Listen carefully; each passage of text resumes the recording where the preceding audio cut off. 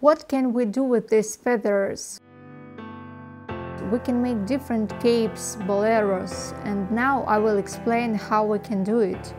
As an example, I use a video of my work. This cape, dress and all the accessories, it's all made by me. Step 1. I am using a rectangle shape. The side is 30 centimeters. This is the length of the cape on the back. Now I measure like this. This is the width of the cape, 120 centimeters. The cape is tied at the front with ribbons or you can tie in the back. And it will be like in this video. So 30 by 120. I make this base. To do this faster, I find the middle lines. Then I fold the rectangle in half length, lengthwise and widthwise. Without a separate pattern, but on textiles folded in four layers, I round off in this area. Ribbons will be sewn on this section.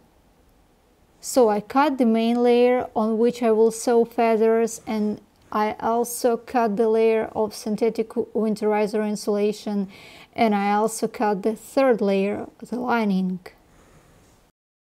All these feathers should be stacked like this, very close together. And then you need to sew it all. How to sew these feathers? For example, these are these feathers. All of them are collected on this rope. Here is the rope. And this is the main layer of the cape. This is the cut of the main layer. We sew half the thickness of the rope to the main layer of the cape. We sew with hand stitched in two threads. You don't need to mark anything. Just sew each layer of feathers very close together. Be mindful of seam allowances. And the last layer of feathers should be as close to the allowance as possible. Put a lining and synthetic winterizer over the feathers.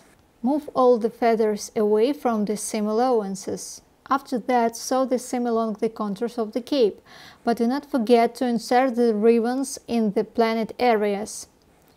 Also stitching along the contours.